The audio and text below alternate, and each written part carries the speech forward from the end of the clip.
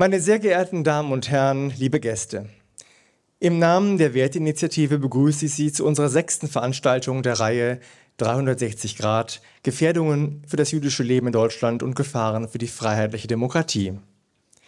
Unser Ziel ist damit zu zeigen, wie eng verbunden eine jüdische Zukunft in diesem Land mit einer lebendigen, pluralen, aber auch wehrhaften Demokratie ist und wie sehr diese von einem funktionierenden Rechtsstaat abhängig ist, der sie schützt. Diese Diskussionsrunde zum Thema Desinformation führen wir in Kooperation mit dem Institute for Strategic Dialogue Germany durch. Liebes ISD, vielen Dank für die Kooperation. Des, ja, mindestens ein Applaus, mindestens einen Wert. Desinformation, häufig auch mit dem Begriff Fake News geprägt, und alles, was daran hängt, ist heute eine der größten Bedrohungen für unsere Gesellschaft.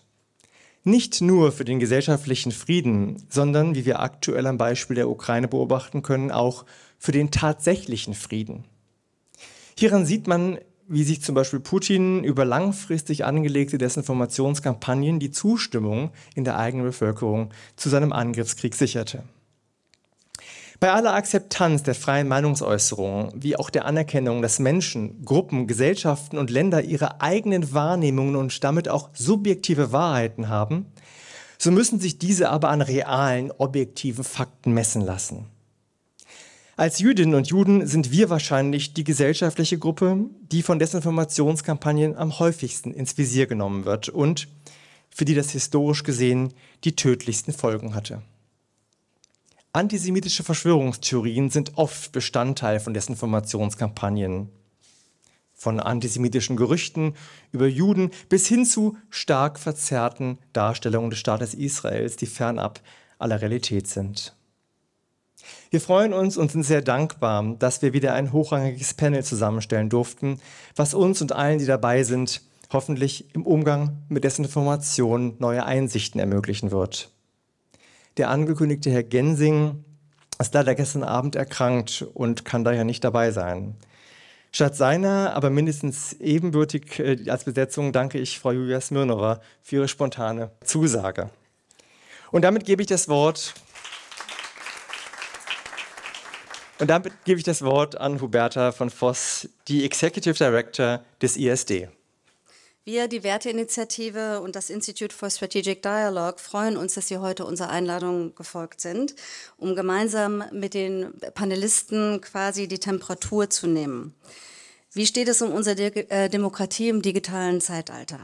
Wie bauen wir ein inklusives, gemeinwohlorientiertes Internet, das unseren Grundwerten entspricht?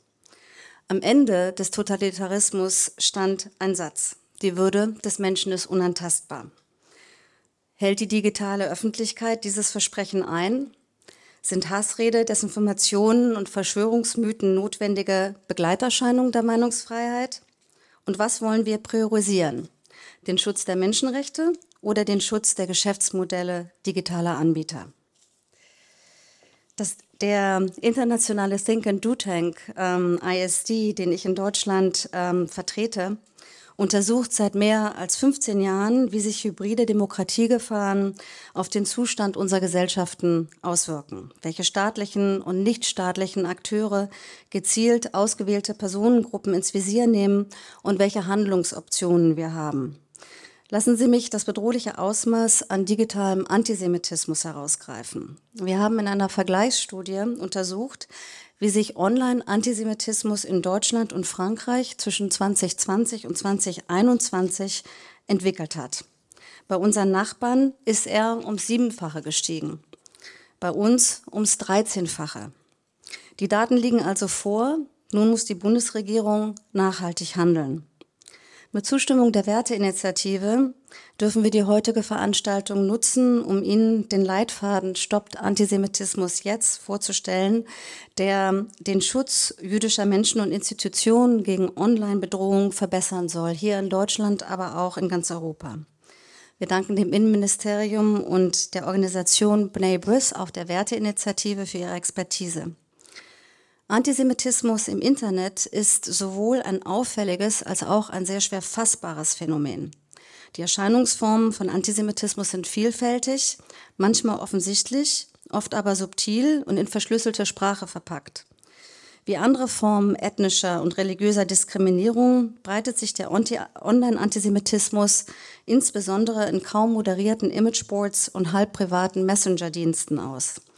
Jedoch sind antisemitische Inhalte auch weiterhin auf großen sozialen Netzwerken wie Facebook, YouTube, TikTok und Twitter zu finden. Pia Lamberti kann insbesondere dazu viel sagen. Obwohl zumindest explizite Formen von Antisemitismus häufig gegen die Nutzungsbedingungen von Tech-Unternehmen verstoßen und nach dem Netzwerkdurchsetzungsgesetz entfernt werden müssten, gibt es große Lücken bei der Umsetzung der sogenannten Gemeinschaftsstandards. Und wir hoffen, dass hier die Bundesregierung aktiv wird. Subtilere Formen des Antisemitismus wie bewusst verschlüsselte Sprache und Verschwörungsmythen werden noch weniger erkannt und entfernt. Hier müssen wir die Moderatoren der Plattform dringend schulen. Jüdische Organisationen haben immer wieder vor antisemitischer Online-Radikalisierung gewarnt. Und wir sind froh, dass die Werteinitiative ihre Netzwerke nutzt, um das Thema höher auf die politische Agenda zu heben. Und wir hoffen, dass wir als zivilgesellschaftliche Organisationen Ihnen helfen können, dass dies auch nachhaltig ist und vor allen Dingen auch zu mehr Investitionen in dem Bereich führt. Ja, ja, ja, ja, ja, genau. Es gibt also viel zu tun, es gibt auch viel zu diskutieren und damit übergebe ich an unsere Moderatorin Caroline Schwarz, die selbst im Bereich Rechtsextremismus viel geforscht hat und zu sehr interessanten Ergebnissen äh, gekommen ist. Und ich freue mich, dass meine Kollegin Julia Smirnova, die für uns, also ISD Deutschland in London arbeitet, heute die Lücke füllen, erfüllen äh, konnte. Vielen Dank und äh, ich wünsche Ihnen eine gute Diskussion.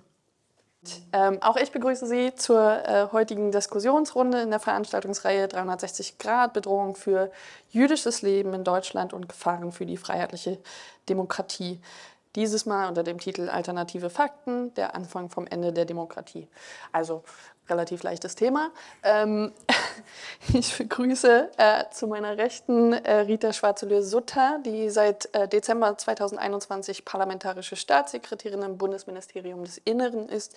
Äh, sie ist studierte Betriebswirtin und war zuvor von 2013 bis 2021 parlamentarische Staatssekretärin äh, im Bundesumweltministerium und seit 2005 ist sie mit einer Pause von einem Jahr für die SPD im Bundestag. Zu meiner Linken sitzt äh, Benjamin Strasser, auch seit Dezember ähm, 2021 parlamentarischer Staatssekretär im Justizministerium. Er ist Rechtsanwalt und sitzt seit 2017 im Bundestag, war auch ähm, ordentliches Mitglied und Obmann im Innenausschuss der FDP-Fraktion für die FDP-Fraktion und hat die FDP auch im AMRI-Untersuchungsausschuss vertreten. Dann ganz links, äh, ihr rechts, äh, Pia Lamberti, die gemeinsam äh, mit Josef Hollenburger Geschäftsführerin bei CEMAS ist und forscht ähm, seit äh, als Psychologin seit Jahren dazu, warum Menschen an Verschwörungsideologien glauben und welche Konsequenzen das Ganze mit sich bringt. Sie hat geforscht an Universitäten in äh, Deutschland und Israel und äh, diverse Bücher mit Katharina Nokun verfasst. Äh, eins davon auf jeden Fall auf der äh, Spiegel-Bestsellerliste und eins kommt in diesem Jahr noch raus. Und dann zu meiner Rechten, äh, ihrer Linken, Julia Smirnova, die nicht Patrick Gensing ist, das haben wir gerade schon gehört. Äh, sie hat einen Master in Conflict Security and Development und ist Analystin beim ISD, dem Institute for Strategic Dialogue, wie wir gerade schon gehört haben, ähm, und beschäftigt sich dort unter anderem mit Desinformationen, Verschwörungsideologien, extremistischen Ideologien und sie hat als freie Journalistin unter anderem für die Zeit und den Spiegel gearbeitet und war als Korrespondentin für die Welt in Moskau.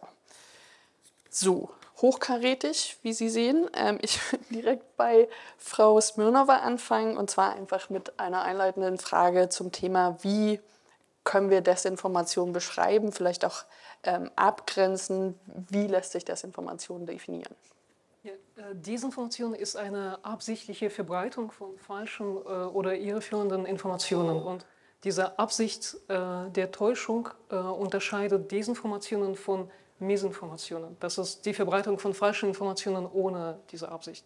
Zum Beispiel ein klarer Fall von Desinformation ist es, wenn russische Staatsmedien wenige Tage vor dem Beginn des Angriffskrieges auf die Ukraine äh, Dutzende Behauptungen verbreiten, dass die Ukraine einen Angriff auf Zivilisten im Donbass planen. Das ist falsch und äh, hier ist, äh, gibt es eine klare Absicht und ein Ziel. Ähm, oder zum Beispiel, wenn äh, Lügen, falsche Informationen über eine Politikerin oder einen Politiker ganz bewusst in die Welt gesetzt werden, haben wir es mit Desinformationen zu tun. Es gibt auch einen äh, weiteren Begriff, der in diesem äh, Kontext oft genutzt wird und nützlich ist, das Informationsmanipulation. Und der ist etwas breiter und umfasst auch äh, bestimmte Verhalten, wie zum Beispiel Anlegen von falschen Identitäten oder Verbreitung von manipulierten Bildern. Äh, genau. Dankeschön. Ähm, und dazu vielleicht noch zur Ergänzung, Pia Lamberti. Oh, ähm, Vielleicht können Sie uns erklären, wie sich dann Desinformation auch von Verschwörungserzählungen abgrenzen lassen und wie, sie, wie diese beiden Phänomene vielleicht auch zusammenhängen. Ja, äh, sehr gerne doch. Ähm, also ich würde sagen, ähm, also bei Desinformation, Falschinformation, da geht es ja um den Wahrheitswert. Also stimmt was, stimmt was nicht. Wenn wir von Verschwörungserzählungen sprechen, geht es um die Annahme, die da oben hätten einen geheimen Plan, ähm, der Gesellschaft zu schaden da geht, also wir haben es quasi mit einer Art von Vorurteil zu tun. Das würde ich zumindest aus einer psychologischen Perspektive so einordnen, dass eben alle die, die als mächtig markiert werden, es geht nicht nur um echte Macht, dass denen mit Argwohn, Hass, Ablehnung begegnet wird. Desinformation hat häufig Elemente von Verschwörungserzählungen. Die sind nicht immer komplett ausbuchstabiert. Oft ist es so ein Raunen oder was, was andockt. Ne? ja, die haben ja was gemacht, irgendwie im medizinischen Bereich, die wollten ja Geld verdienen. Das ist nicht ausbuchstabiert, geht in die Richtung. Desinformation kann aber auch ohne Verschwörungserzählungen auskommen. Ähm, dementsprechend finde ich schon wichtig, das zu differenzieren. Aus einer psychologischen Perspektive gibt es auch unterschiedliche Erklärungen, warum Menschen falsche Dinge tun. Das passiert uns allen. Wir haben alle Momente gehabt, wo wir dachten, oh mein Gott, was habe ich denn dir geglaubt? Ähm, passiert mir bei Buchrecherchen immer mal wieder, dass ich das merke, tatsächlich. Ähm, und ne, da gibt es dann so äh, Gehirnmodelle, die uns erklären, wie verarbeiten wir Informationen, gerade auch Informationen, die im Einklang sind mit unseren eigenen Einstellungen. Beim Verschwörungsglaube geht es wirklich darum, die da oben haben einen Plan und da gibt es dann in der Psychologie zumindest so drei Haupterklärungen. Äh, einmal, ja, der Kontrollverlust haben Sie alle wahrscheinlich schon häufig gehört, dass man sich aufwerten kann, dass man eben das Gefühl hat, man sei besonders einzigartig, der Rest sei Schlafschafe und dass man eben Muster da sieht, wo auch keine sind. Die äh, psychologischen, psychischen Effekte zurück. ähm, vielleicht erstmal Frau Schwarzelö-Sutter, der aktu aktuelle Stand zum Thema Desinformation ähm, in Deutschland, wie ist das aus der Sicht des Bundesinnenministeriums? Was können Sie dazu sagen? Das ist ein ganz äh, wichtiges Thema für uns und ähm, hat sich jetzt äh, natürlich nochmal gesteigert durch äh, die russischen Desinformationen, durch den Ukraine-Krieg. Wir haben das intensiv schon zuvor beobachtet, natürlich äh, auch vor allem bei den Querdenkern bzw. bei den Corona-Demonstrationen. Und natürlich ist es dort auch eine gemischte, heterogene Szene. Aber ähm, es verbreitet sich und diese Desinformationen ähm, heißt auch, was tun wir dagegen, was, äh, was können wir im Netz dagegen tun und was tun wir tatsächlich auch an Richtigstellung, an Gegendarstellung. Also man muss es auch, ähm, also man muss wirklich entgegentreten. Man kann sie nicht stehen lassen bei bestimmten Desinformationen. Ähm, aber im Moment ist es tatsächlich auch schwierig. Ich nehme jetzt nochmal das Beispiel Ukraine-Krieg. Die Propaganda steigert sich, wird aggressiver. Äh, wir haben in Europa durchaus ja auch gehandelt, dass äh, Russia Today und Sputnik abgeschaltet werden. Trotzdem findet man Wege, über, auch über Staatsfernsehen bestimmte Propaganda zu verbreiten. Äh, und äh, deswegen ist es so wichtig, dass wir auch entsprechend, ähm, wir haben eine Arbeitsgruppe eingerichtet, wir sind auch da dabei, wie können wir jetzt auch nochmal bei diesen Desinformationen tatsächlich äh, die, Richtig, die Richtigstellung vorantreiben und auch Gegendarstellungen auch verbreiten. Mhm. Ähm, ich würde auf die Gegenmaßnahmen auch nochmal gesondert zurückkommen, nachher im, im, zweiten Teil. Wir beschäftigen uns jetzt erstmal noch kurz mit der Beschreibung des ganzen Problemfelds, würde ich vorsichtig sagen. Und dann äh, vielleicht auch Herr Strasser, die meiner Wahrnehmung nach ist es so, dass ähm, das Thema Verschwörungserzählungen ähm, im Zusammenhang mit den Morden von Hanau, mit der Pandemie auch, mit der Verbreitung der Verschwörungs Bewegung, äh, wie es einige nennen, QAnon, in Deutschland in der öffentlichen und politischen Debatte angekommen ist. Ähm, Jetzt sind Verschwörungsideologien nichts Neues, das haben wir in der Einführung schon gehört, das ähm, ist vielen von uns bekannt. Ähm, aber wie sieht es im politischen Alltag aus? Hinkt die Politik den Verschwörungsideologen oder auch den Verbreitern von Desinformation hinterher? Das ist eine Frage, die man, glaube ich, nicht mit einem einfachen Ja oder Nein äh, beantworten kann, weil der Kampf gegen Desinformation für Politik kein einfacher ist. Wir müssen uns klar machen, dass im Gegensatz zur Hasskriminalität im Kampf äh, gegen Desinformation es ja um Kontrolle über Meinungsäußerungen geht. Unser Grundgesetz schützt eben in seinem Artikel 5 relativ weit Meinungen, auch absurde Meinungen, auch Meinungen, die nicht von Fakten gedeckt sind oder die Fakten auch ähm, entgegenstehen. Und ja immer die Schwelle ist, äh, ab wann wird strafbar. Und nicht jede Desinformation ist eine Straftat. Die meisten Desinformationen sind sogar keine Straftaten. Manchmal überschneidet sich das dann mit Volksverhetzungen und so weiter. Aber das, das macht Politik nicht ganz einfach, da auch ähm, konsequent dagegen äh, vorgehen zu können. Und das Problem ist aus meiner Sicht, dass wir auch wenig oder noch keine hinreichende Erfahrung haben im Kampf äh, gegen Desinformation. Und deswegen gibt es beispielsweise auf europäischer Ebene auch Arbeitskreise, die im Sinne von Best Practice darüber reden, was wirkt dann äh, im Kampf gegen Desinformation so wirklich in den politischen Raum gekommen ist das erst vor den letzten Bundestagswahlen, als wir im Innenausschuss auch diskutiert haben, was ist denn das richtige Instrument und Mittel insbesondere gegen russische Desinformation im Zuge des äh, Bundestagswahlkampfs. Äh, der eine oder andere äh, erinnert sich vielleicht noch an die erfundene Vergewaltigung eines angeblichen Mädchens hier in Berlin, das ja dann auf der Straße auch zu größeren Demonstrationen geführt hat. Und die Vergewaltigung gab es nie ganz gezielt eben gesteuert, auch aus Russland, um die Empörung der deutschen äh, Bevölkerung anzuheizen. Ähm, der DSA, also der Digital Services Act, ist ein erster wichtiger Schritt, aber auch da sehen wir in der Veranlagung, dass es weniger um konkrete Einzelmaßnahmen, staatliche Befugnisse geht, sondern um eine Risikobewertung und ein entsprechend abgestuftes Maßnahmenpaket, wo auch immer die Plattformen mitgedacht werden müssen und mit in die Pflicht genommen werden müssen. Vielleicht können wir auf den, auf den DSA nachher noch mal kurz ja. zurückkommen und ihn noch ein bisschen mehr erläutern. Ich glaube, vielleicht hat das nicht jeder so verfolgt, ähm, was in den letzten Monaten so da passiert ist. Ähm, also ich nehme das als ein wohlmeinendes Jein auf, was ist äh, ja, was auch meine Lieblingsantwort äh, äh wäre an der Stelle. Ähm, gut, äh, vielleicht nochmal Pierre Lamberti, ähm, die, wie funktioniert, äh, warum funktioniert Desinformation? Also warum glauben Menschen und verbreiten Menschen vielleicht auch eine Falschmeldung? Was passiert da im Kopf vielleicht auch? Also ich würde sagen, was wichtig ist, ist zum einen es verhängt, verfängt sich ja nicht jede Desinformation. Also wenn ich jetzt mich hier hinstelle und sage, ähm, in Berlin leben seit fünf Jahren, äh, lebt eine Herde von Einhörnern, dann werden sie ja jetzt nicht rausgehen und sagen, na Mensch, die Frau Lamberti, die hat ja gesagt, in Berlin leben Einhörner. Es sei denn, sie glauben schon vorher dran. Und das ist so eine wichtige Grundlage. Propaganda, Desinformation und auch Verschwörungserzählung verfangen sich in der Gesellschaft immer dann, wenn es Andockstellen gibt.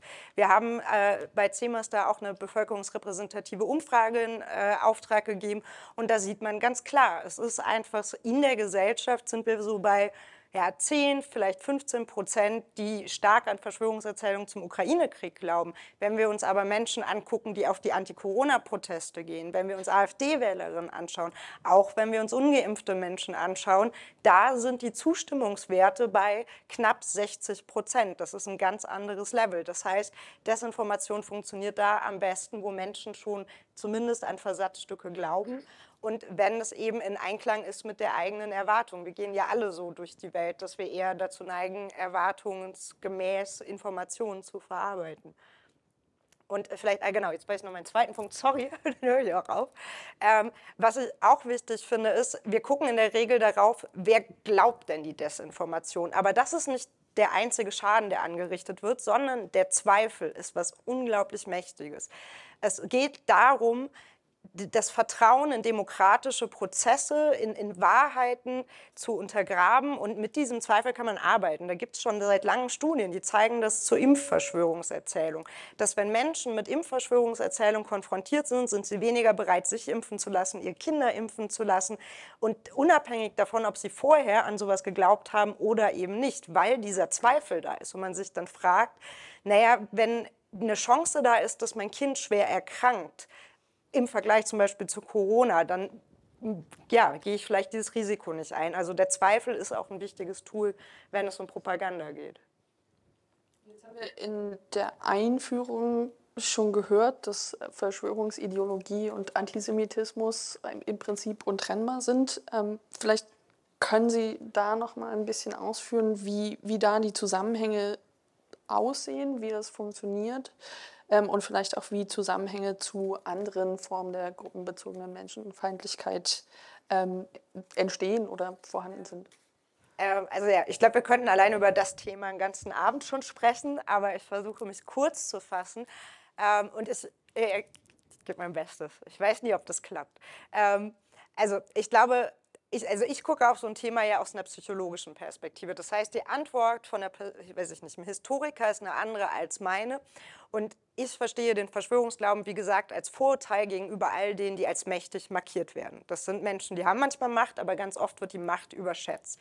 Jüdinnen und Juden werden häufig historisch mit Macht assoziiert, als mächtige Gruppe dargestellt. Das heißt, man kann empirisch, psychologisch, historisch eigentlich auf allen Ebenen eine starke Überlappung zwischen diesen beiden Mustern nachweisen und aufzeigen.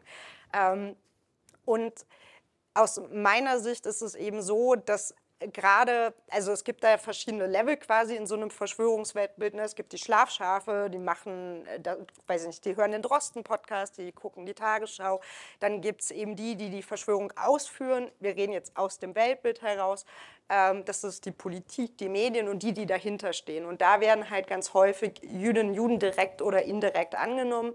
Und das Ganze ist dann aber auch wieder häufig verschachtelt mit anderen Formen der Menschenverachtung. Das sehen wir im Terrorismus ja sehr häufig, dass behauptet wird, es gäbe einen großen Bevölkerungsaustausch, dass äh, Menschen mit Migrationsgeschichte, äh, ja, Geflüchtete kommen würden, um die weiße Bevölkerung zu verdrängen. Da wird dann häufig noch ein Antisemitismus draufgelegt. Also Verschwörungserzählungen waren schon immer ein Träger von Menschenverachtung die haben immer auch schon zur Gewalt angestiftet. Deswegen finde ich es auch wichtig, dass man sich das bewusst macht. Das ist nicht ein Partygag oder irgendwas, was lustig ist. Ich glaube, über dieses Level sind wir mittlerweile hinaus. Als ich angefangen habe, dazu zu arbeiten, sah das noch anders aus. Ähm, aber es ist immer, also es wird ja nicht ohne Grund auch von verschiedenen gefährlichen Gruppierungen genutzt. Gucken wir zu Hamas, die hat äh, in der Protokolle, die Protokolle der Weisen von Zion auch in der Gründungscharta mit drin gehabt, rechtsterroristische Gruppen. Das gehört immer mit dazu, weil man darüber mobilisieren kann auch. Jetzt wissen wir, ähm, Verschwörungsideologien sind nichts Neues, Antisemitismus in Verschwörungsideologien sind alles andere als neu. Über digitale Tools haben wir jetzt auch schon so ein bisschen geredet. Wir haben äh, Digital Services Act gehört, schon als Stichwort. Wir haben ähm, das Netzwerkdurchsetzungsgesetz schon gehört. Ähm, vielleicht noch mal ganz kurz, Frau Smirnova, zur Einordnung. Die Desinformation im digitalen Zeitalter. Sehen wir jetzt einfach nur mehr davon oder sind das jetzt mehr geworden? Sprießen die an jeder Ecke quasi? Ja, ich würde sagen, es ist, äh, es, äh, es ist schwierig genau zu messen, äh, wie sich die Verbreitung von Desinformationen im digitalen Zeitalter äh, im Vergleich zum analogen Zeitalter verändert hat. Ähm, aber wir wissen auf jeden Fall, dass äh, Desinformationen und bewusst angelegte Desinformationskampagnen kein neues Phänomen ist. Zum Beispiel im Kalten Krieg haben die sowjetischen Geheimdienste äh, systematisch Desinformationskampagnen durchgeführt, um äh, bestimmte Länder äh, zu diskreditieren oder um ähm, Spaltungen in der Gesellschaft zu vertiefen. Äh, ich glaube, die, die bekannten Beispiele sind äh, Desinformationskampagnen, äh, bei der behauptet wurde, dass äh, AIDS äh, aus einem US-Labor stammt oder dass äh, in einem US-Labor in Pakistan ähm, chemische und biologische Waffen hergestellt werden ähm, und weitere, weitere Kampagnen. Das waren oft sehr komplizierte Operationen mit gefälschten Dokumenten, die äh, bestimmten Zeitungen zugespielt wurden. Das heißt, das Phänomen an sich ist nicht neu, aber, aber was sich verändert hat, ist ähm, das Informationsumfeld, äh, in dem äh, diese Akteure agieren. Äh, heute bekommen wir alle unsere Informationen nicht aus den Zeitungen, nicht nur aus den Zeitungen, aus dem Fernsehen, sondern aus Blogs, aus sozialen Medien. Und diese Technologien ermöglichen, ähm, die machen es sehr einfach, äh, die etablierten Medien anzuzweifeln. Das heißt, es ist ganz einfach, einen Blog anzulegen und zu behaupten, dass äh, etablierte Medien äh, lügen. Ähm, die Technologien äh, ähm, ermöglichen es auch ähm, Akteuren wie äh, Trollfabriken falsche Identitäten anzulegen. Ähm, das heißt, das Informationsumfeld ist sehr, sehr günstig für alle, für staatliche und auch nichtstaatliche Akteure, die daran interessiert sind, bewusste Desinformationskampagnen ähm, äh, äh, durchzuführen. Ähm, und äh, das ist, das ist, glaube ich, der, der zentrale Unterschied zwischen analogen und digitalen Zeiten. Das heißt, die, die, die, äh, es, muss nicht einfach, es muss nicht mehr so eine komplizierte Operation mit äh, sehr fein gefälschten Dokumenten sein, wie in, ähm, äh, im, kalten, im Zeiten des Kalten Krieges, sondern ich glaube, alleine der Umfang von Informationen, äh, mit denen wir jeden Tag konfrontiert ist, macht es einfach auch mit einer Vielzahl von sehr einfachen Fälschungen äh, durchzukommen. Das sehen wir jetzt ähm, an, an, verschiedenen Beispielen. Es reicht heute, ein, ein Bild aus dem Zusammenhang zu reißen und äh, einen Post irgendwo abzusetzen oder einfach einen eine Szene aus einem Computerspiel zu nehmen und das als, als äh, militärischen Erfolg zu verkaufen am Ende. Ähm, jetzt haben wir schon äh, so ein bisschen über russische Desinformation geredet. Ich glaube, äh, lassen Sie uns noch mal ganz kurz auch da bleiben.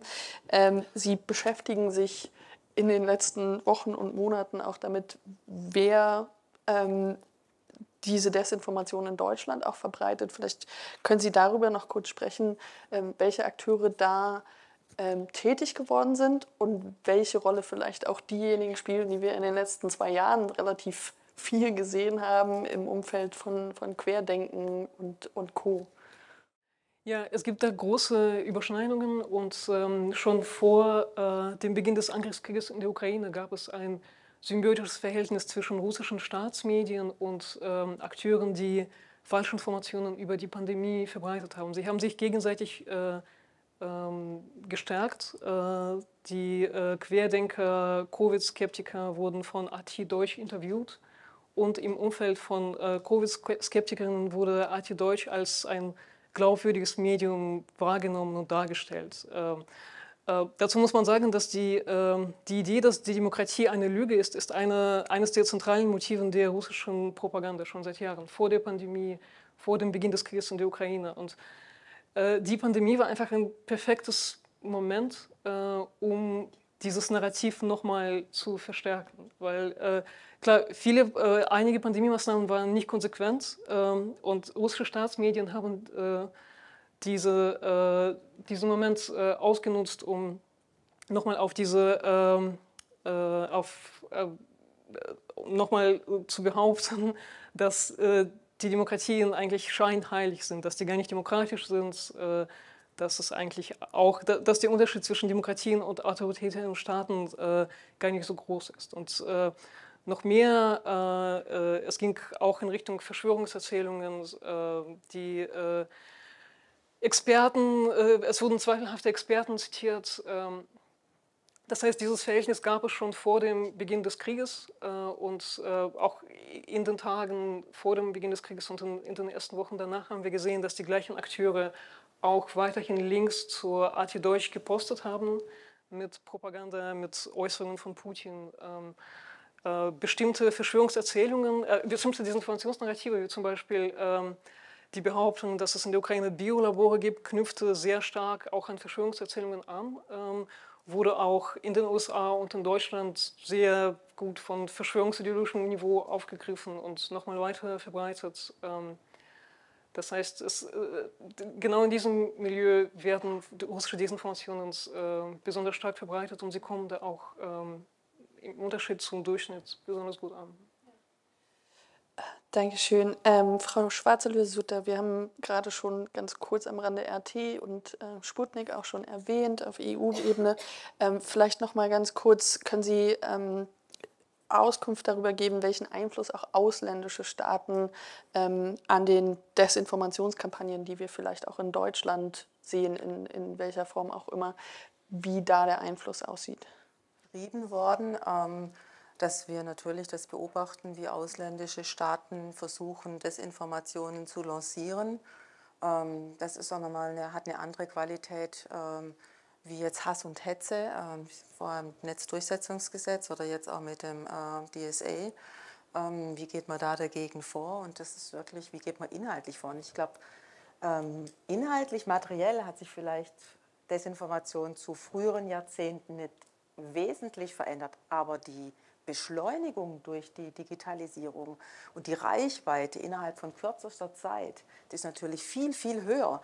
Das heißt, ich habe mir das gerade überlegt, äh, als ich es berichtet habe, wenn ich mir überlege, wenn Weiße, Weiße Rose in München nicht ähm, Flugblätter verteilt hätten, sondern über Telegram und was weiß ich äh, damals ähm, unterwegs gewesen wären, dann wäre das vielleicht eine andere Situation gewesen. Heute haben wir aber ähm, verschlüsselte Chats, was es uns auch schwieriger macht.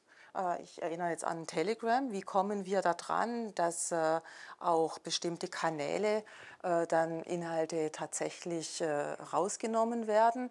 Wir haben natürlich, das war, wir wollen ja den, die Grundrechte nach wie vor wahren, aber es ist ja im Netzdurchsetzungsgesetz auch klar geregelt, wer denn auch Inhalte löschen muss.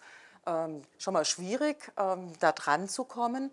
Und wenn ich es jetzt äh, vergleiche mit dem DSA, was ja durchaus ähm, die gleiche Absicht hat, ähm, illegale Inhalte zum Beispiel auch zu löschen, ähm, dann ist es für uns in Deutschland doch nochmal, weil es nachher das äh, Netzdurchsetzungsgesetz ersetzt, ähm, durch, dadurch, dass es eine Vollharmonisierung ist, schon nochmal schwieriger. Wir haben da eine Protokollerklärung abgegeben, weil wir hätten gerne höhere Standards bei dem DSA, aber insgesamt gesehen für Europa ist es ein Schritt nach vorne. Und ich glaube, das ist auch nochmal wichtig. Ähm, wir haben ja mit dem russischen Angriffskrieg nicht nur einen Krieg zwischen Ukraine und Russland, sondern wir haben tatsächlich ähm, eine Zeitenwende zwischen Demokratie und autoritären Systemen.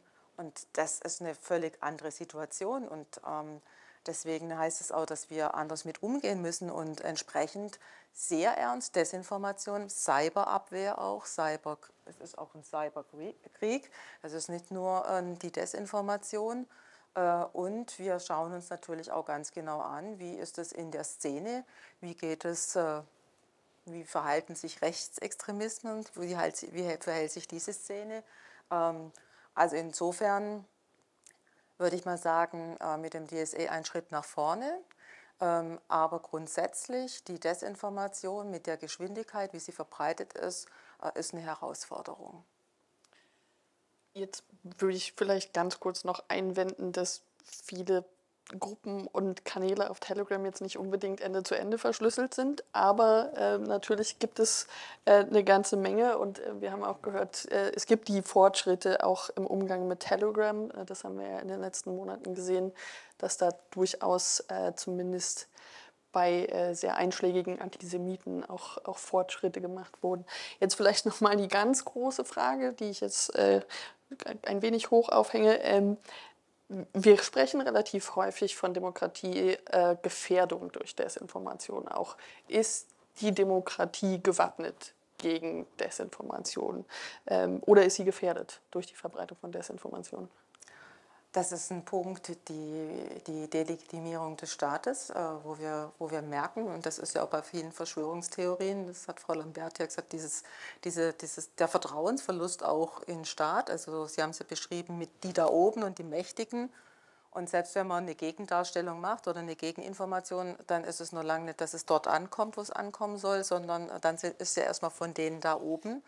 Ähm, und insofern ja, müssen wir was dagegen setzen und die entsprechenden Instrumente auch äh, knallhart äh, und auch harte Kante gegen diejenigen, die den Staat delegitimieren oder die äh, extremistisch unterwegs sind, äh, auch zeigen. Und ich finde schon wichtig, dass äh, auch unsere Ministerin ähm, gleich zu Beginn auch gesagt hat, was ihre Prioritäten sind und unter anderem eben der Aktionsplan gegen Rechtsextremismus gleich vor Ostern auch auf den Weg gebracht wurde.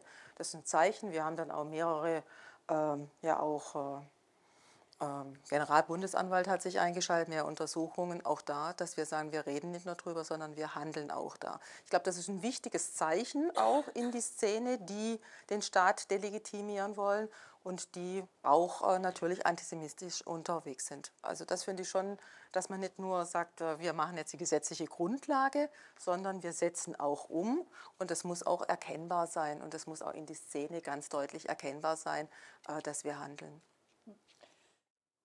noch jemand zum Thema Demokratie gefährdet durch Desinformation oder nicht, während mir das Kabel zum 500. Mal runterrutscht?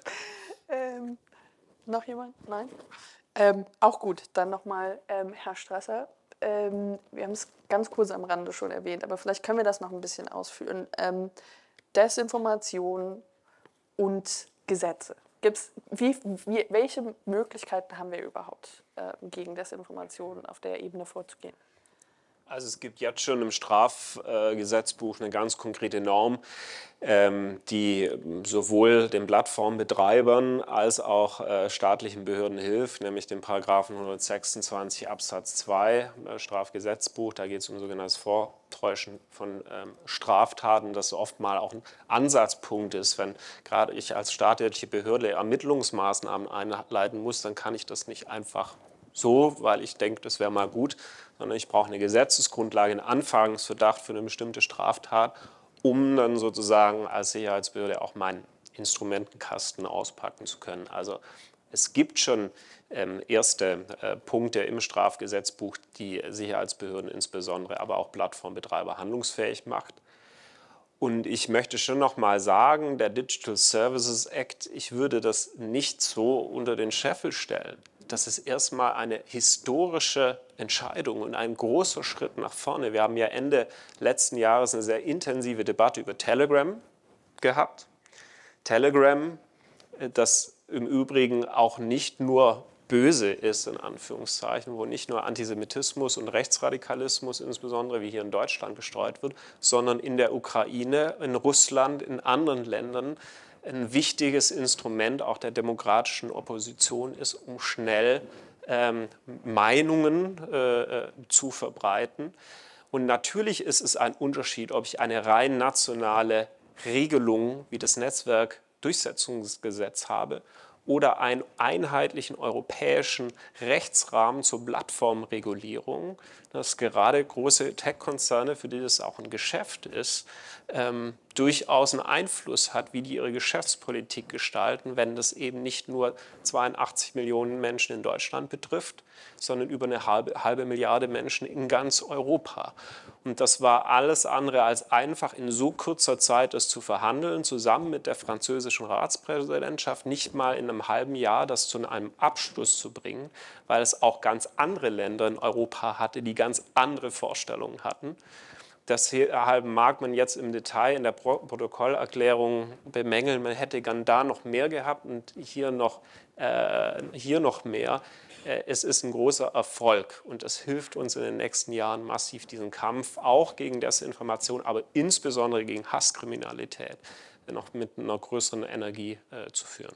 Vielleicht können wir für diejenigen, die jetzt die, diese ganzen Entwicklungen in den letzten Wochen noch nicht nachverfolgt haben, vielleicht können wir kurz in zwei, drei Sätzen erklären, was das DSA jetzt letztendlich bringt oder bringen soll. Also im Kern äh, ist vieles von uns in Deutschland bekannt über das Netzwerkdurchsetzungsgesetz. Also es geht darum, wie ich insbesondere Straftaten in sozialen Medien, Stichwort Hasskriminalität, ähm, äh, schnell aus dem Netz bringe. Das ist ja ein, eine Herausforderung, dass ich so Dinge sehr schnell verbreiten, wo es dann Meldepflichten gibt, beispielsweise für Plattformanbieter, wo äh, gerade die großen Plattformen, die über 45 Millionen Nutzerinnen und Nutzer haben, auch regelmäßige Risikobewertungen vorlegen müssen und darauf basierende Maßnahmen, also beispielsweise, äh, wie läuft es mit der Anzeigenschaltung, Transparenz insbesondere bei politischer Werbung, also wer finanziert auch bestimmte Dinge, die mir als Nutzerin oder als Nutzer angezeigt werden. All das findet sich im äh, DSA. Beim Thema Löschfristen ist das hinter der deutschen Regelung zurückgeblieben, weil es eben andere europäische Länder äh, gibt, die deutlich skeptischer sind bei Löschverpflichtungen äh, wie das deutsche Netzwerkdurchsetzungsgesetz. Und im Ende, weil es eben eine Vollharmonisierung ist, bedeutet es, dass wir nicht in Deutschland ergänzende Regelungen im Netzwerkdurchsetzungsgesetz belassen können, sondern das ab 2024 für alle direkt verpflichtend für alle Mitgliedstaaten der DSA gilt und damit im Übrigen nicht nur für Plattformen aus Europa, sondern für jede Plattform, die in Europa tätig wird und ihre äh, Dienste anbietet. Aber ergänzend wollen wir ja noch als Koalition ein Gesetz gegen digitale Gewalt auf den Weg bringen, das natürlich in der Wechselwirkung mit dem DSA äh, steht, aber die das Thema auch Opferschutz, also beispielsweise Lücken bei Auskunftsrechten gegen Plattformen und so weiter schließen soll, damit man sich als Opfer auch besser dagegen wehren kann. Abseits von diesem Plan gibt es Ihrer Meinung nach noch ähm, Lücken im Gesetz, vielleicht im Deutschen, ähm, aber auch vielleicht auch auf der EU-Ebene? Also ich glaube, wir sind ja insgesamt in einem lernenden Prozess. Von dem her will ich jetzt gar nicht ausschließen heute und sagen, das ist sozusagen das, was die nächsten 100 Jahre genau so Bestand haben wird. Ich möchte nur auch dafür werben, nicht so zu tun, als wäre das Thema nur ein Thema von Plattformen, also dass die Plattformen das für den Staat machen müssen, sondern es ist im Kern gerade bei der Verfolgung von Straftaten und der Verhinderung von Strafen eine hoheitliche Aufgabe. Das heißt, das Beispiel Telegram wurde angesprochen. Vieles findet unter den Augen der Sicherheitsbehörden statt. Gerade diese Kanäle, über die wir reden, sind eben nicht verschlüsselt, sondern sie sind offen für alle einsehbar. Und deswegen sollten wir die nächsten Jahre nicht über rechtsstaatlich schwierige Befugnisse von Sicherheitsbehörden reden, sondern über zwei Dinge. Wie stärken wir erstens die Analysefähigkeit? Ich würde mir wünschen, dass Sicherheitsbehörden, egal ob analog oder digital, Antisemitismus als solchen auch in all seinen Formen erkennen. Und da haben wir ein Defizit. Wuppertal ist das Beispiel, das immer einem als ersten einfällt. Also palästinensische Jugendliche, die Molotow-Cocktails auf Synagogen werfen, das sind doch keine Antisemiten, sondern das ist sozusagen eine Auseinandersetzung im israelisch-palästinensischen Konflikt. Das ist nur eine Facette. Die andere Facette ist, dass insbesondere die rechtsextreme Szene ja jetzt ganz andere Begriffe verwendet. Globalisten ist so eins, also es geht nicht gegen die Juden, sondern es geht gegen die Globalisten, was wiederum natürlich die Juden sind, weil die steuern die ganze Welt. Das muss ein Sachbearbeiter in einem Verfassungsschutz oder bei der Polizei oder bei der Staatsanwaltschaft auch erkennen, dass unter seinen Augen Antisemitismus stattfindet und das Zweite, für das ich werbe, ist auch technische Möglichkeiten abseits von Befugnissen zu nutzen, also insbesondere Instrumente der künstlichen Intelligenz, um diese Tausenden von Kanäle auch systematisch durchsuchen zu können als Sicherheitsbehörde, wo findet denn da strafbares Verhalten statt, um gezielt und gerichtet gegen diejenigen vorzugehen, die so etwas machen.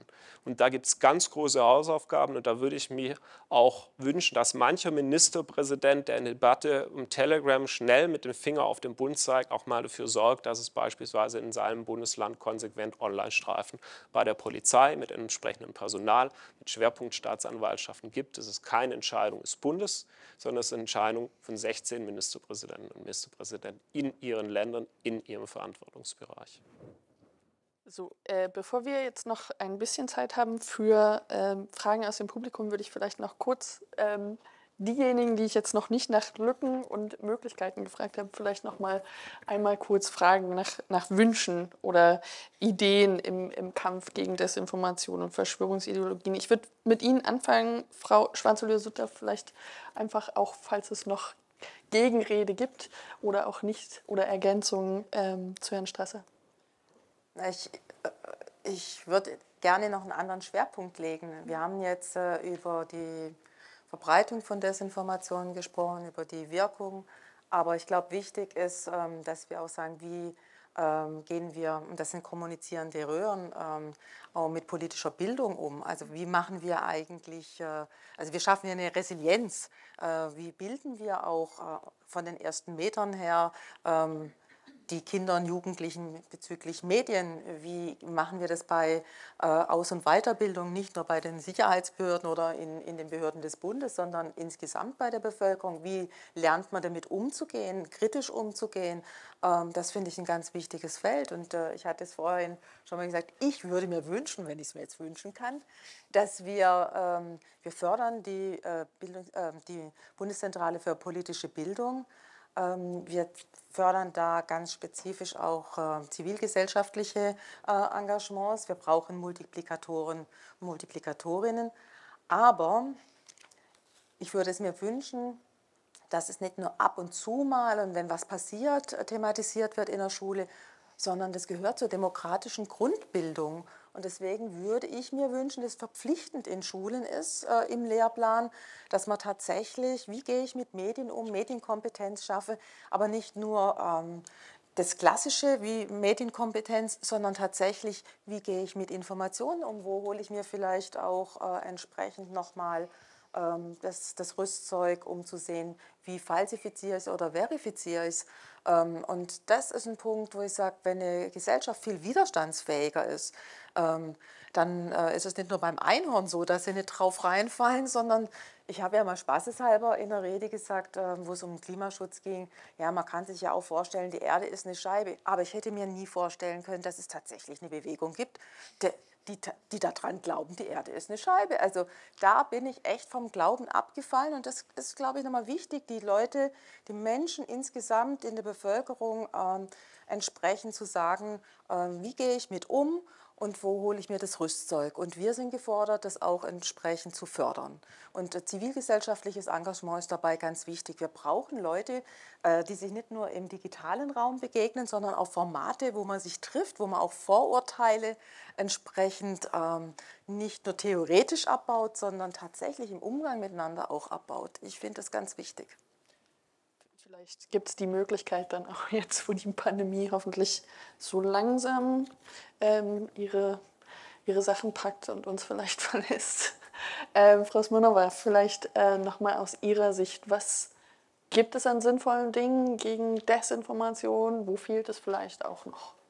Ja, viele wichtige Punkte wurden schon genannt. Äh, Medienkompetenz ist sehr wichtig. Äh, Weiterbildungsprogramme, die nicht nur online, sondern offline stattfinden. Äh, ich glaube, es ist wichtig, dass die äh, Social-Media-Plattformen die eigenen Regeln besser durchsetzen, die Regeln, die bereits äh, ähm, in Kraft getreten sind. Äh, ganz einfache Dinge wie äh, Fact-Checking-Labels. Äh, das heißt, die, äh, meine Kolleginnen und Kollegen haben drei Wochen nachdem, nachdem die Bilder aus Bucha veröffentlicht worden sind über Gurgeltaten von der russischen Armee, äh, die populärsten, meistgeteilten Facebook-Posts über Bucha ähm, angeschaut und wir haben festgestellt, dass äh, ein Drittel von diesen Posts Zweifel äh, an der Darstellung der westlichen Medien geäußert hatten und dass äh, bei keinem, wirklich bei keinem dieser Posts in Top 10 in 20 Ländern äh, ein Fact-Checking-Label dabei war. Das darf natürlich nicht passieren. Ähm, äh, es geht auch um die Transparenz von Social-Media-Plattformen und Algorithmen ähm, und da ist das SA das ähm, der, äh, der, richtige, der Schritt in die richtige Richtung. Und Pia Lamberti, vielleicht noch Ergänzungen? Das ist der letzte Platz, wo dann alles schon gesagt ist. Sehr gerne. Ja, ähm, ich habe gerade überlegt, ja. Ähm, also ich muss, ich fange jetzt mal nicht so optimistisch an und versuche dann den Schlenker zu kriegen, okay? Ähm, ich muss ehrlich sagen, ich mache mir Sorgen. So, wenn ich mir das anschaue. Wenn wir global gucken, leben weniger Menschen in einer Demokratie als in einer Autokratie. Das verschlechtert sich. Ähm, wir haben eine Lage, dass zum Beispiel in Frankreich Marie Le Pen zumindest eine reale Chance hätte. In anderen europäischen Ländern verändert sich die Stimmung. Es gibt einen russischen Angriffskrieg. Geschlechtergerechtigkeit nimmt ab im Zuge der Pandemie. Wir können dieses Spiel jetzt ewig so weiterspielen. Die Lage ist tatsächlich nicht so gut. Das heißt aber nicht, dass sie automatisch schlechter wird, sondern ich glaube, man hat es in der Hand, was zu tun. Dafür gehört es aber auch, dass man das ernst nimmt. Und dazu gehört für mich auch, dass eine Regierung mehr auf eine Zivilgesellschaft hört, es da mehr Dialog gibt. Das Wissen ist immens. Da sind wirklich unglaubliche Expertinnen in ihrem Bereich, die auch die lokale Expertise haben, die globale, internationale Expertise haben. Nehmen Sie das ernster, als es Ihre Vorgängerregierung getan hat. Ähm, das wäre was, glaube ich, was wirklich hilft, wenn man dann sieht, wo die Leerstellen sind, wo man noch ändern kann, was man noch weitermachen kann. Ähm, das würde ich mir wünschen. Ähm, und dazu gehört aber auch eine stabile Finanzierung für eine Zivilgesellschaft, dass eben die Menschen nicht alle drei Jahre neue Anträge stellen müssen, äh, ja, ne, die Mitarbeiterinnen in unsicheren Beschäftigungsverhältnissen sind. Wir haben es mit Leuten zu tun, die teilweise in sehr, sehr schwerwiegenden Bereichen arbeiten, die mit harten Inhalten konfrontiert sind. Und ich denke, wenn man sagt, man nimmt das ernst, man nimmt Demokratie ernst, man sieht die Bedrohung, gehört das dazu, ja, die Zivilgesellschaft zu fördern. Ich glaube, der Schlenker war da. Dankeschön. Ähm, wir haben noch Zeit für zwei bis drei Fragen aus dem Publikum, wenn es die gibt. Ich glaube, es gibt ein Mikrofon da hinten. Wenn wir darüber reden, wie gefährlich Desinformation für unsere Demokratie ist, dann müssten wir auch über eine Partei reden oder besser gesagt eine Fraktion, die fast jede Sitzungswoche gezielt Desinformation ähm, am, im Plenum mitteilen kann und nur selten höre ich von, ähm, vom, Bundestagspräsidium beispielsweise Ordnungsrufe. Gibt es da nicht eine andere Möglichkeit, diese de gezielte Desinformation im Hohen Haus zu stoppen? Stoppen äh, wird man das nicht können, weil äh, das Rederecht auch äh, des Parlaments sehr weitgehend ist. Und ich habe ja am Anfang gesagt, die Meinungsfreiheit auch äh, sehr weitgehend ist, solange es nicht strafbar ist, was da gesagt worden ist. Ähm, ich habe insbesondere noch in der letzten Wahlperiode, als ich beispielsweise direkt nach Hanau äh, und Halle und der Ermordung von Walter Lübcke gesprochen habe, die AfD schon in die Pflicht genommen und gesagt, sie haben zwar keine rechtliche Verantwortung für das, was da passiert ist, sie haben aber auf Basis ihres Handelns hier zumindest eine moralische Mitverantwortung.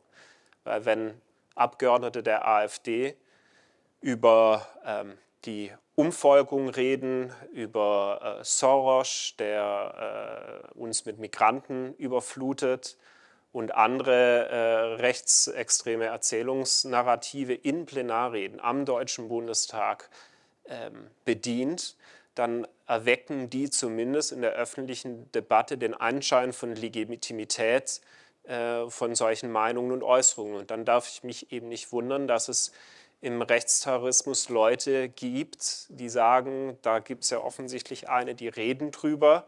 Und äh, dann braucht es welche, die dann auch handeln und die, die beseitigen, die offensichtlich ja das deutsche Volk umvolken äh, wollen, sodass 2050 es dann keine Deutschen äh, mehr gibt. Und auf diese These hat sich ja unter anderem der äh, Attentäter von Halle und in Teilen auch von Hanau in diesen Pamphleten, die danach veröffentlicht worden sind, bezogen. Und das ist eine Aufgabe von gesellschaftspolitischer Auseinandersetzung, das ist eine Aufgabe von Parlamentariern, aber genauso wie normal in der Zivilgesellschaft. Das ist eine Aufgabe bei jedem Familienfest, beim Stammtisch, im Vereinslokal zu widersprechen, wenn sowas gesagt wird. Ich weiß, das ist nicht immer angenehm und man ist auch manchmal verwundert, wer das alles sagt. Ja, also es sind ja nicht nur äh, Leute mit äh, schlechteren Bildungschancen, sondern es sind teilweise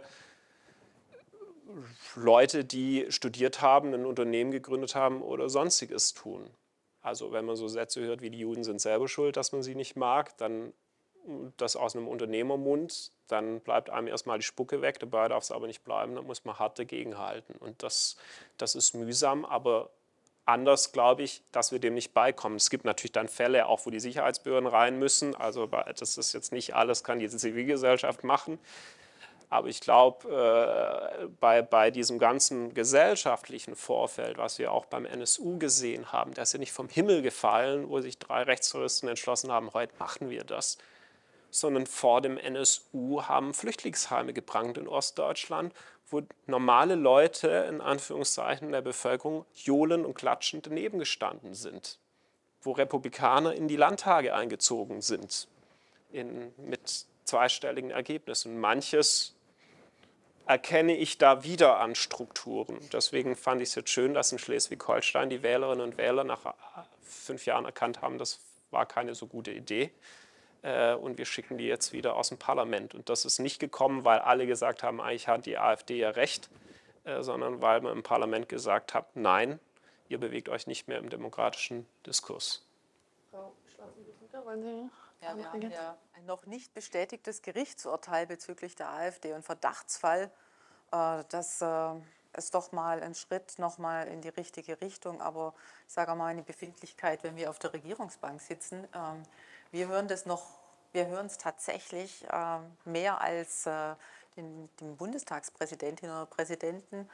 Und das ist manchmal so erschreckend, weil man wirklich vom Glauben abfällt, was da kommuniziert wird, was da gesagt wird. Und ich hatte es vorhin auch schon mal gesagt, ich hatte die Agenda 2030 bei der UN verhandelt. Und ich fand als Ökonomin eigentlich das ein echter Fortschritt, dass äh, Klaus Schwab und das WEF äh, Richtung SDGs schenkt und wirklich eine Transformation in Richtung inklusive Gesellschaft geht, aber dass man das so verdrehen kann, äh, da, äh, da ist man erstmal schockiert. Das darf man aber nicht in so einer Schockstarre stehen bleiben, sondern man muss man wirklich dagegenhalten und auch dagegenhalten, wenn wir natürlich in den Reden sind.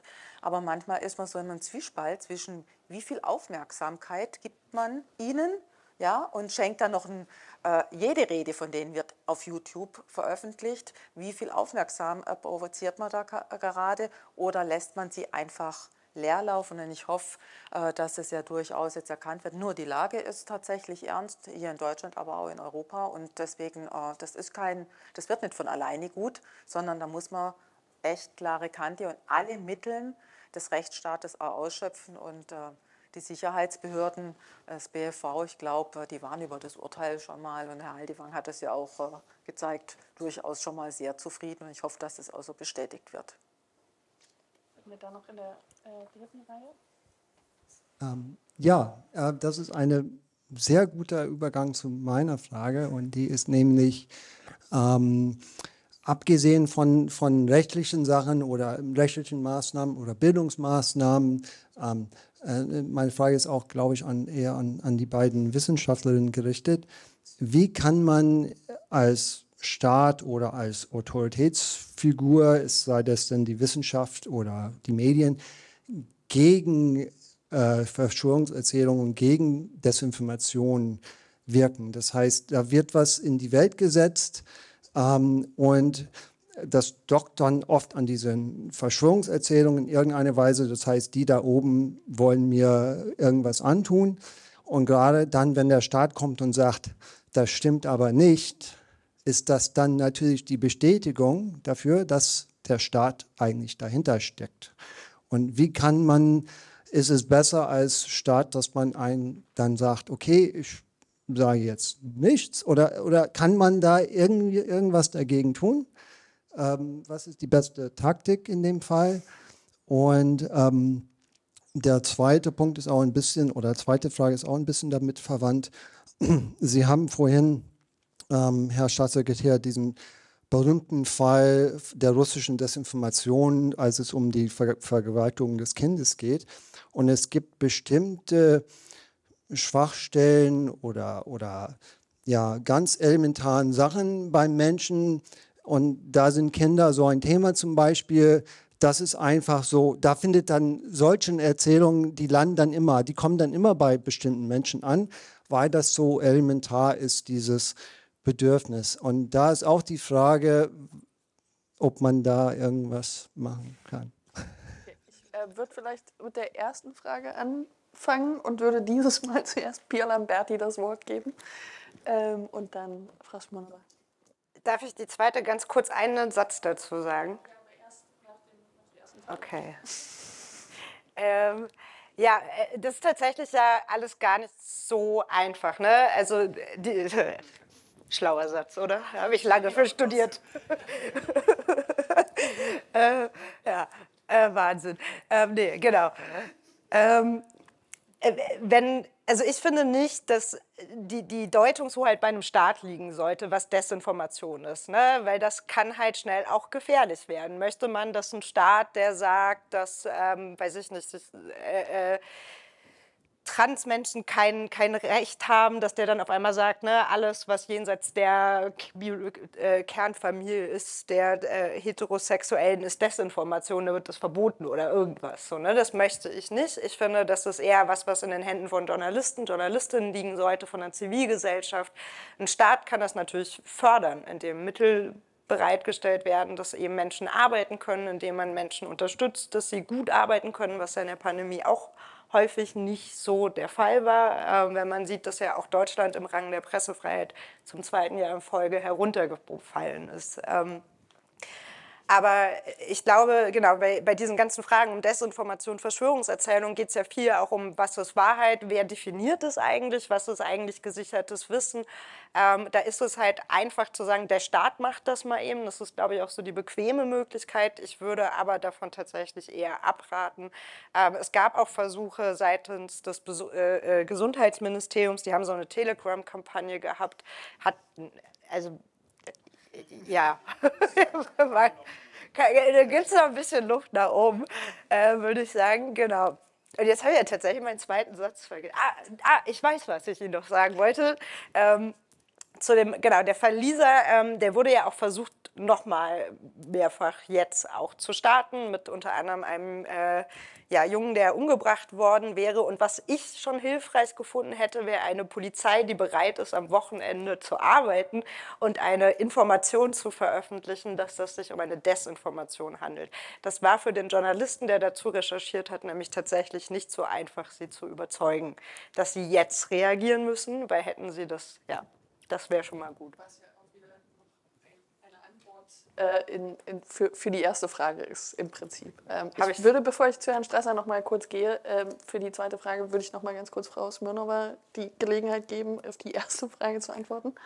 Genau, ich würde zustimmen, dass der, der Staat äh, nicht bestimmen soll, was äh, die Wahrheit ist und was äh, Fake ist. Ich glaube, das ist etwas, was autoritäre Staaten gerne tun. Es ist auch interessant, wie die ganze Sprache von Fact-Checking von autoritären Staaten gerade ausgenutzt wird, auch von Russland, um eigentlich Desinformationen zu verbreiten. In Russland wurde nach dem Beginn des Krieges ein Gesetz gegen Fake News verabschiedet und mit Fake News werden eigentlich wahrhaftige Informationen gemeint. Äh, deshalb äh, ist es wichtig, dass das bei der Zivilgesellschaft, beim, beim Journalismus bleibt. Ähm, und beim Fall ähm, Lisa und ähnlichen Fällen, äh, es gibt tatsächlich weitere Versuche, ähm, gerade russischsprachige Menschen zu mobilisieren, nicht nur in Deutschland, auch in anderen Ländern. Es gibt Videos, äh, in denen äh, gegen ukrainische Flüchtlinge gehetzt wird und äh, behauptet wird, dieses Gefühl der Bedrohung bei russischsprachigen Menschen äh, erzeugt wird. Und da ist es tatsächlich, äh, im Fall von Euskirchen war es äh, wichtig, dass die Polizei zumindest ziemlich schnell äh, eine Gegendarstellung veröffentlicht hat und die hat sich dann verbreitet. Aber es ist wichtig, dass diese, solche Meldungen sehr schnell ähm, äh, gesehen werden und dass, äh, dass man sehr schnell darauf reagiert, ähm, dass die Gegendarstellung sich schneller verbreitet, idealerweise als die Falschmeldung. Ähm, ja, vielleicht nochmal den zweiten Teil. Ich glaube, es ging auch um diesen Faktor, dass Kinder als mobilisierender Faktor genutzt werden. Und ich glaube, ein, ein Beispiel, das wahrscheinlich viele von uns kennen, ist das Thema weißer Transporter, äh, antiziganistische äh, Mythen, die immer wieder verbreitet werden. Ich glaube, das funktioniert auf sehr ähnliche Weise. Aber äh, weil jetzt Kinder betroffen sind, kann man da vielleicht auch nicht anders handeln? Also ich glaube, was dahinter liegt, ist ja so ein bisschen die Frage, Kinder eignen sich besonders gut zur Emotionalisierung, wobei man auch ehrlich sein muss, auch demokratische Politik benutzt das für andere Forderungen zur Emotionalisierung. Deswegen glaube ich, kann man das nicht verhindern im Sinne, weil der Mensch ist ein emotionales Wesen. Und wenn jetzt Frau Schwarze-Lühr-Sutte und ich Wahlkampf machen, dann, äh, dann ist es ja auch nicht so, dass wir nur unser Parteiprogramm vorlesen und dann sagen, so und jetzt habt ihr gute Gründe, äh, uns zu wählen, sondern wir versuchen ja an die Emotionen der Menschen ranzukommen, um Vertrauen zu bekommen. Ja, ist auch eine Emotion. Äh, und deswegen wird es ja eher dann kritisch bei Desinformation, wenn diese Emotion dazu eingesetzt wird, nicht Menschen von sich zu überzeugen, sondern den Staat und die liberale Demokratie zu zerstören. Das ist ja das Problem auch an Desinformation. Nicht die Desinformation an sich unbedingt, sondern zu was sie letzten Endes führt. Und das ist eben das Spannungsfeld. Ich will auch kein Wahrheitsministerium. Ich will nicht, dass der Staat definiert, was ist wahr und was ist unwahr. Das ist im Übrigen auch nicht in allen Feldern immer so einfach zu beweisen, was ist wahr und was ist unwahr. Das ist manchmal ein gesellschaftlicher Diskussions- und Auseinandersetzungsprozess. Und deswegen wird man das nicht verhindern können, dass insbesondere mit Kindern Politik gemacht wird oder Emotionen getriggert werden bei den Leuten.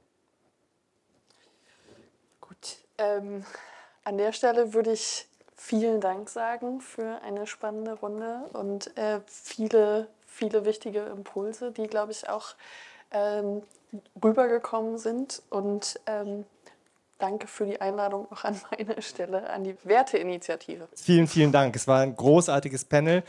Hammer. Vielen, vielen Dank an alle, die mitgemacht haben.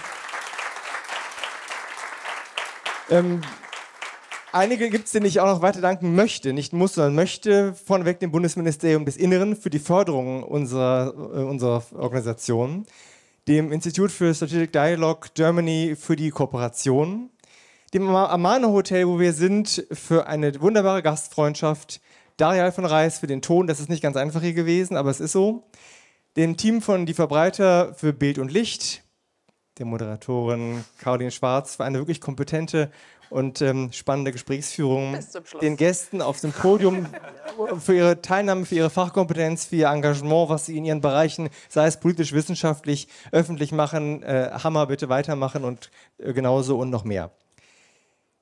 Danke, liebe Besucherinnen und Besucher im Saal, ähm, auch den Zuschauerinnen und Zuschauern zu Hause fürs Dabeisein. Wenn Sie mehr über die Weltinitiative wissen wollen, wenn Sie mehr von uns mitbekommen wollen, abonnieren Sie uns in den sozialen Medien, folgen Sie uns äh, über unsere Website, Newsletter. Wir freuen uns, je mehr Kontakt wir mit Ihnen haben, desto besser ist es. Ein letzter Satz noch, ähm, jenseits der Veranstaltung, wir haben noch privaten Tisch oben äh, reserviert. Wer noch hochkommen möchte, auf eigene Rechnung, kann gerne mit nach oben kommen, noch ein bisschen quatschen, wie Sie wollen. Vielen Dank, kommen Sie gut nach Hause und nochmal Ihnen vielen Dank fürs Dasein.